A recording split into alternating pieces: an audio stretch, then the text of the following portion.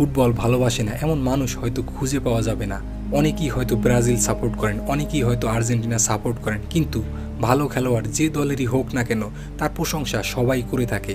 এই মুভিটি জগৎ বিখ্যাত খেলোয়াড় পেলের জীবন কাহিনী নিয়ে নির্মিত, আর এই মুভি দেখলে আপনার ফুটবলের প্রতি ভালোবাসা আরও কয়েক গুণ বেড়ে যাবে। মুভি শুরুতে আমরা ব্রাজিলের একটি ছোট্ট বস্তি দেখতে পাই, যেখানে বাচ্চারা জুতা পলিশের কাজ করে। বাচ্চারা কাজ শেষে বস্তির চিপা গলির ভিতরে পুরনো কাপড় দিয়ে বানানো ফুটবল দিয়ে ফুটবল খেলা শুরু করে আর কাদা দিয়ে কাদা ছোড়াছুরি করতে থাকে। বাচ্চাগুলোর মধ্যে একটি ছেলে অনেক ভালো খেলতেছিল, তার নাম ছিল ডিকো। ডিকো আর তার ভাই জুকা খেলা শেষে বাসায় চলে আসে। তাদের মা যখন জিজ্ঞেস করে তোমাদের শরীরে এত কাদা, কোথা থেকে এসেছে? তখন ডিকো বলে, জুতা পলিশ শেষে আমি যখন জুকাকে নিয়ে বাসায় আসতেছিলাম, তখন জুকা পা ফিসলে নদীতে পড়ে যায়। কিন্তু জুকা ভুলবশত তার মাকে বলে দেয় যে, ফুটবল খেলতে গিয়ে আমরা ময়লা পানিতে পড়ে গিয়েছিলাম আর এই কথা শুনে তার মা অনেক রেগে যায়। কারণ তার মা চায় না তার ছেলেরা ফুটবল খেলুক। কারণ ডিকোর বাবা একজন অনেক বড় ফুটবলার ছিল, কিন্তু হাঁটুতে ইঞ্জুরির কারণে ফুটবলকে বিদায় জানাতে হয় আর সে এখন হাসপাতালে সুইপারের কাজ করে। আর ডিকুর মা চায় না তার ছেলেরা কোনোভাবেই তার বাবার মতো সুইপারের কাজ করুক। এটা ছিল উনিশশো পঞ্চাশ সাল, তখন ফুটবল বিশ্বকাপ চলতেছিল। যেদিন ব্রাজিলের ফাইনাল খেলা হচ্ছিল, সেদিন সব লোকজন তাদের কাজকর্ম বাদ দিয়ে রেডিওর সামনে বসে খেলার ধারা বিবরণী শুনতেছিল। কিন্তু দুর্ভাগ্যজনকভাবে সেদিন ব্রাজিল অনেক বাজেভাবে হেরে যায়। ব্রাজিল হারার কারণে সবার চোখে জল চলে আসে। এমনকি ডিকো, যে কিনা ঘরের চালের উপর বসে খেলা শুনতেছিল, তার চোখেও পানি চলে আসে। আসলে ব্রাজিলের মানুষ ফুটবল সম্পর্কে অজ্ঞান। তারা ফুটবলকে তাদের জীবনের চেয়েও বেশি ভালোবাসে। ডিকোর বাবা যখন বাইরে আসে, তখন ডিকো লক্ষ্য করে তার বাবার চোখ দিয়ে পানি পড়তেছে। তখন ডিকো তার বাবার কাছে গিয়ে বলে, বাবা, তুমি কান্না করো না, আমি তোমাকে কথা দিচ্ছি। আমি একদিন ব্রাজিলকে বিশ্বকাপ এনে দেব। এরপর একদিন ডিকোকে তার মা তার সাথে নিয়ে কাজে যায়। সেখানে তারা রান্নাঘরে কাজ করতেছিল। তখন ডিকোর মাকে ভিতরে কোনো কাজে ডেকে নেয়। ডিকোর মা যখন ভিতরে যায়, তখন ডিকো সুযোগ বুঝে রান্নাঘরে থাকা খাবার থেকে কিছু খাবার চুরি করে খাওয়া শুরু করে। তখনই সেখানে বেশ কয়েকটি ছেলে চলে আসে। তারা একটি ফুটবল টুর্নামেন্ট নিয়ে আলোচনা করতেছিল, যেখানে সবাই অংশগ্রহণ করতে পারবে। আর যারা ফাইনালে জিতবে, তাদেরকে স্যান্টোস ফুটবল ক্লাবে খেলার সুযোগ করে দেওয়া হবে।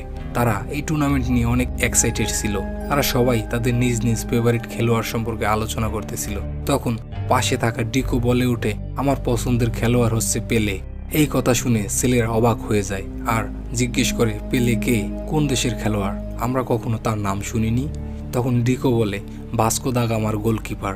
আসলে সেই গোলকিপারের নাম ছিল বিলে আর ডিকো বিলের নামটা সঠিকভাবে উচ্চারণ করতে পারতেছিল না, তাই তাকে পেলে বলে ডাকে। বাচ্চারা এই কথা শুনে অনেক হাসাহাসি করে আর তারা বলে, পেলে কোনো খেলোয়াড়ের নাম হতে পারে না, তোমার মতো বলদের নাম হতে পারে।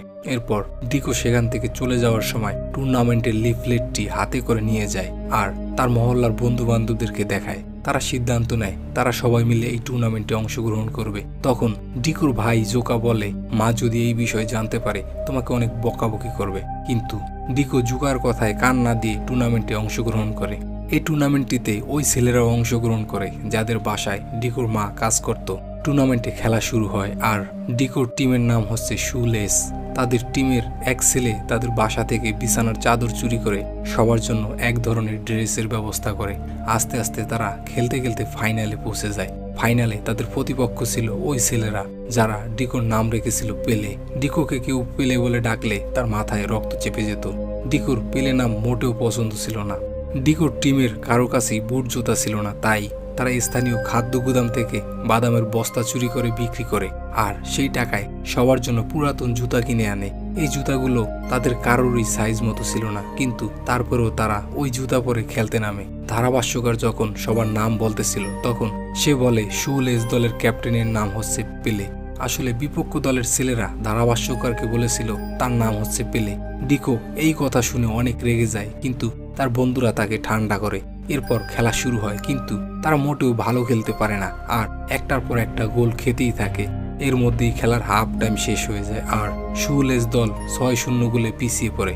তখন ডিকো তার বুট জোতা খুলে ফেলে, কারণ সে আর তার দলের খেলোয়াড়রা বুট পরে খেলায় অভ্যস্ত না। ডিকোর বুট খোলা দেখে তার দলের সবাই তাদের বুট খুলে ফেলে। এরপর আবার খেলা শুরু হয় আর ডিকো আর তার দল অনেক ভালো খেলতে থাকে। তারা এক এক করে পাঁচটি গোল করে ফেলে, কিন্তু ততক্ষণে সময় শেষ হয়ে যায় আর শুলেস দল পাঁচ ছয় গোলে ফাইনাল ম্যাচ হেরে যায়। কিন্তু সেখানে থাকা সকল দর্শকের কাছে ডিকোর খেলা অনেক ভালো লাগে, তাই তারা পেলে পেলে বলে চিৎকার করতে থাকে। কিন্তু ডিকোর এখন আর এই নাম শুনে মোটেও রাগ হয় না, বরং সকলের বাবা বা দেখে তার অনেক ভালো লাগতে থাকে। সেখানে ডিকোর বাবাও তাদের খেলা দেখতেছিল। সে অনেক খুশি হয়, কারণ তার ছেলে অনেক ভালো ফুটবল খেলতেছিল। তখন সেখানে ওই গুদামের লোকজন চলে আসে, যাদের বাদাম ডিকো আর তার বন্ধুরা চুরি করেছিল। তাদের দেখে সবাই সেখান থেকে পালাতে থাকে আর ওই লোকগুলো তাদেরকে ধাওয়া করতে থাকে। তারা জঙ্গলের মধ্যে দিয়ে পালাতে থাকে। তখন ডিকো আর তার বন্ধু দিয়াগো জঙ্গলের মধ্যে একটি মাটির গর্তের মধ্যে লুকিয়ে পড়ে। তখনই সেখানে ভারী বৃষ্টিপাত শুরু হয় আর বৃষ্টির কারণে ওই মাটির গর্তের মাটি চাপা পড়ে যেতে থাকে। ডিকো অনেক কষ্টে গর্তের বাইরে বের হয়ে আসে, কিন্তু দিয়াগো ওই মাটির মধ্যেই চাপা পড়ে যায়। আর দিয়াগো সেখানেই মারা যায়। এই ঘটনায় ডিকো অনেক ভেঙে পড়ে। সে নিজেকে দিয়াগোর মৃত্যুর জন্য দায়ী মনে করে। সে মনে করে, সে যদি টুর্নামেন্টে অংশগ্রহণ না করত, তাহলে তারা বাদাম চুরি করতো না আর আজকে দিয়াগোর মৃত্যুও হতো না। ডিকোর মা ডিকোকে অনেক সান্ত্বনা দেয়। এই ঘটনার পরে ডিকো অনেক চুপচাপ হয়ে যায়, এমনকি সে ফুটবল খেলাও বাদ দিয়ে দেয়। যদিও ডিকোর বাবা চাচ্ছিল যে ডিকো আবার ফুটবল খেলুক, তাই সে ডিকোকে অনেক উৎসাহ দিতে থাকে আর অনেক চেষ্টা করতে থাকে যাতে ডিকো আবারও ফুটবল খেলা শুরু করে। কারণ সে ডিকোর ফুটবল খেলা দেখেছিল আর সে বিশ্বাস করে একদিন ডিকো অনেক বড় ফুটবলার হবে। ডিকোর বাবা ডিকোকে আম দিয়ে প্র্যাকটিস করা শেখাতে থাকে, কাঁচা আম দিয়ে শট নেওয়া আর পাকা আম দিয়ে ব্যালেন্স করা শেখাতে থাকে। যদিও ডিকো প্রথম প্রথম তেমন গুরুত্ব দেয় না, কিন্তু আস্তে আস্তে সে তার বাবার সাথে প্র্যাকটিস করা শুরু করে।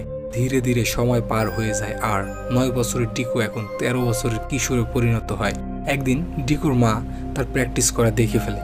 তার মা কখনোই চাইতো না তার ছেলে বাবার মতো ফুটবল খেলুক, কিন্তু ছেলের খেলার প্রতি আগ্রহ দেখে সে ফর্মার ব্রাজিলিয়ান ফুটবলার ওয়ার্ল্ডামারকে ডিকোর প্র্যাকটিস করা দেখায়। সে ডিকোর প্র্যাকটিস দেখে অনেক ইমপ্রেস হয় আর ডিকোকে স্যান্টোস ফুটবল ক্লাবে খেলার সুযোগ করে দেয়। ক্লাবে ডিকোর পারফরমেন্স অনেক বাজে ছিল, তাই সে অনেক হতাশ হয়ে যায় আর সে সিদ্ধান্ত নেয় সে বাড়ি ফিরে আসবে।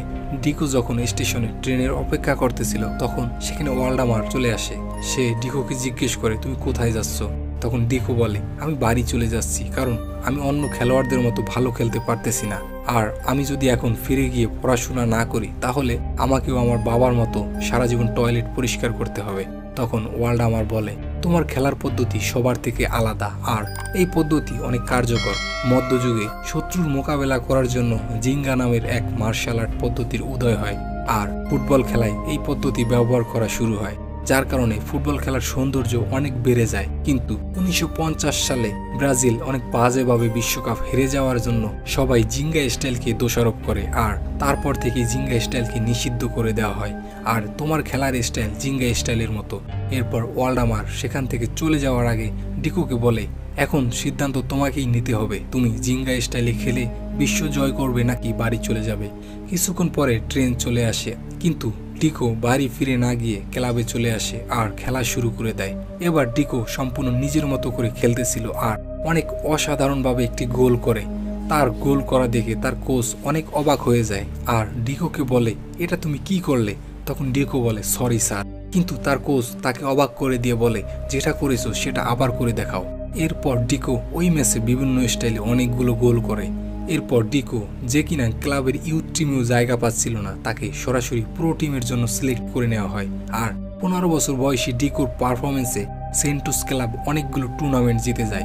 এরপর উনিশশো আটান্ন সালে ফুটবল বিশ্বকাপে ব্রাজিলের দল ঘোষণা করা হয় আর আশ্চর্যজনকভাবে ডিকোকে বিশ্বকাপ দলের জন্য সিলেক্ট করা হয়। এই খবর শুনে ডিকো আর ডিকোর পরিবার খুশিতে আত্মহারা হয়ে যায়। তারা ভেবেছিল, ডিকোর বয়স ষোলো বছর হওয়ার কারণে তাকে বিশ্বকাপ দলে সিলেক্ট করা হবে না। এরপর বিশ্বকাপ খেলতে যাওয়ার আগে ডিকোর বাবা ডিকোকে বলে, তোমার মধ্যে এরকম কিছু আছে যেটা আমার মধ্যে কখনোই ছিল না। আমি যখন ফুটবল খেলতাম, তখন আমিও জিঙ্গা স্টাইলে খেলতাম। কিন্তু একদিন এক ম্যাচে আমি জিঙ্গা স্টাইলে খেলব কিনা সেটা নিয়ে দোটানায় পড়ে যাই। যার কারণে ওই ম্যাচে আমার ইঞ্জুরি হয়ে যায় আর আমি চিরতরে ফুটবল থেকে ছিটকে যাই। তাই তুমি কখনো এরকম কিছু করো না আর লোকজনের কথায় কান না দিয়ে তুমি যেভাবে খেলে থাকো ঠিক সেভাবেই খেলবে আর নিজের উপর ভরসা রাখবে। এরপর টিকুর বাবা তাকে তার ছোটবেলার বেডশিট দিয়ে তৈরি করা সেই জার্সিটি উপহার দেয়, যেটায় তার নাম লেখা ছিল পেলে। এরপর ডিকো ব্রাজিল টিমের সাথে যোগ দেয়। কিন্তু প্রস্তুতি ম্যাচ শুরু হওয়ার আগেই তার কোচ তাকে ওয়ার্নিং দিয়ে বলে, তুমি কোনোভাবেই জিঙ্গা স্টাইলে খেলতে পারবে না। কারণ জিঙ্গা স্টাইলে খেলার কারণে উনিশশো পঞ্চাশ সালে ব্রাজিল অনেক বাজেভাবে বিশ্বকাপ হেরেছিল। কিন্তু প্র্যাকটিস ম্যাচে ডিকো তার বাবার কথা মতো জিঙ্গা স্টাইলেই খেলতে থাকে। কিন্তু দুর্ভাগ্যবশতভাবে সেই ম্যাচে তার হাঁটুতে মারাত্মকভাবে ইঞ্জুরি হয়ে যায়। তার ইঞ্জুরি এতটাই গুরুতর ছিল যে ডাক্তার এখনও কনফার্ম দিতে পারতেছে না যে ডিকো কোনোদিন আর কোনো ম্যাচ খেলতে পারবে কিনা। ডিকো তার মাকে ফোন করে ইঞ্জুরির বিষয়ে খুলে বলে। এই খবর শুনে তার মা কান্নায় ভেঙে পড়ে কারণ ঠিক এরকমই এক ইঞ্জুরির কারণে তার বাবার ফুটবল ক্যারিয়ার সম্পূর্ণভাবে ধ্বংস হয়ে যায় আর শেষ পর্যন্ত তাকে সুইপারের কাজ করতে হচ্ছে। ডিকো বলে, আমি জীবনে অনেক বড় ভুল করেছি। আমার পড়াশোনা বাদ দিয়ে ফুটবল খেলাই উচিত হয়নি। তখন তার মা বলে, আমরা সবাই মিলে সিদ্ধান্ত নিয়েছিলাম তুমি ফুটবল খেলবে। তাই যা কিছুই হোক না কেন, আমরা সবাই তোমার পাশে আছি। কয়েকদিন পর ডাক্তার আবার চেক করে বলে, চিন্তার কোনো কারণ নেই। চেষ্টা করলে হয়তো ডিকো পরবর্তী সিজনে আবার খেলতে পারবে। কিন্তু ডিকোকে রিপ্লেস করে অন্য কোনো প্লেয়ার দলে আনার জন্য অনেক দেরি হয়ে গিয়েছিল, যার কারণে ডিকোকে দলের সাথেই রাখা হয়। এরপর বিশ্বকাপের প্রথম রাউন্ড শুরু হয়ে যায় আর প্রথম কয়েক ম্যাচে ব্রাজিলের অনেক প্লেয়ার ইঞ্জুরিতে পড়ে যায় আর কোয়ার্টার ফাইনালে ইংল্যান্ডের বিপক্ষে ব্রাজিলের স্ট্রাইকার মাজোলা ইঞ্জুরিতে পড়ে যায়, যার কারণে কোচকে বাধ্য হয়েই ডিকোকে সেমিফাইনালে মাঠে নামাতে হয়। তখন ডিকোর ডাক্তার তাকে বলে, তুমি তোমার হাঁটু বাঁচিয়ে খেলবে আর মনের ভুলেও জিঙ্গা স্টাইলে খেলার চেষ্টা করবে না। হাঁটুতে আবার চোট পেলে তুমি আর কোনোদিনও খেলতে পারবে না। সেমিফাইনালে তাদের ফ্রান্সের বিপক্ষে খেলা হয়। ডিকো হাঁটু বাঁচিয়ে অনেক কষ্টে খেলা চালিয়ে যাচ্ছিল। হাফ টাইমের খেলা শেষ হয়। ব্রাজিল আর ফ্রান্স এক এক গোলে হাফ টাইমের খেলা শেষ করে। বিরতির সময় ডিকো ড্রেসিং রুমে মাজোলাকে বলে, আমি তোমার মতো খেলতে পারতেছি না। তোমার যদি পায়ের সমস্যা ঠিক হয়ে যায়, তাহলে তোমার মাঠে নামা উচিত। তখন মাজোলা বলে, আসলে সমস্যা আমার পায়ে না, আমার মনে।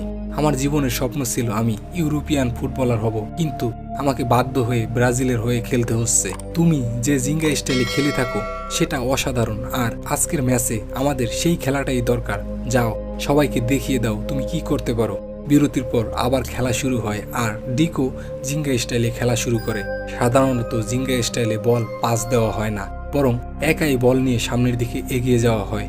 আর ডিকো জিঙ্গা স্টাইলে অনেক নৈপুণ্যতার সাথে গোল করে দেয়। এই গোলের কারণে স্টেডিয়ামে আনন্দের বন্যা বয়ে যায়। ব্রাজিল দুই এক গোলে এগিয়ে যায়। এরপর ডিকো একের পর এক আরও দুইটি গোল করে আর ব্রাজিল ডিকোর হ্যাটট্রিকের কারণে ফাইনালে পৌঁছে যায়। সমগ্র ব্রাজিলবাসী ডিকোর খেলা দেখে মুগ্ধ হয়ে যায়। ফাইনালে ব্রাজিলের প্রতিপক্ষ হয়ে দাঁড়ায় Sweden. Pre match conference Sweden ব্রাজিলকে অনেক অপমান করে কথা বলে। তাই ব্রাজিলের কোচ প্রেস কনফারেন্স থেকে চলে যায়। এরপর ব্রাজিলের কোচ প্লেয়ারদের সাথে একটি মিটিং করে। সে প্লেয়ারদেরকে বলে, কাল ফাইনাল ম্যাচ আর আমি চাই না দুনিয়া আমাদেরকে সুইডেনের মতো খেলতে দেখো আমাদের আসল খেলা হচ্ছে জিঙ্গা স্টাইল। আমি জানি না কালকে আমরা জিতবো কি না। কিন্তু আমরা দুনিয়াকে দেখিয়ে দিব জিঙ্গা স্টাইলের ক্ষমতা কি। পরের দিন ফাইনাল ম্যাচ শুরু হয়, আর সুইডেনের প্লেয়াররা পেলেকে চার দিক থেকে ঘিরে রাখে যাতে করে পেলের কাছে বল যেতে না পারে। আর প্রথম চার মিনিটের মাথায় সুইডেন গোল করে দেয়। খেলার শুরুতেই গোল হজম করার কারণে ব্রাজিলের সকল প্লেয়ার, এমনকি ব্রাজিলের সকল দর্শক অনেক টেনশনে পড়ে যায়। কিন্তু কয়েক মিনিট পরেই ডিকো সকল প্লেয়ারকে পিছনে ফেলে বল নিয়ে সামনের দিকে এগিয়ে যায় আর গোল করে দেয়। আর কিছুক্ষণ পরেই ব্রাজিল আবারও আরও একটি গোল করে দেয়। আর এই গোলের মাধ্যমে ব্রাজিল দুই এক গোলে এগিয়ে যায়। ততক্ষণে সুইডেনের সমর্থকদেরকে নিস্তব্ধতা গ্রাস করে নেয়। সমস্ত স্টেডিয়ামের মধ্যে একটি থমথমে পরিবেশের সৃষ্টি হয়। এরপর আর ব্রাজিলকে পিছু ফিরে তাকাতে হয় না। ব্রাজিল এক এক করে পাঁচটি গোল করে ফেলে আর পাঁচ দুই গোলে ব্রাজিল প্রথমবারের মতো বিশ্বকাপ জিতে নেয়।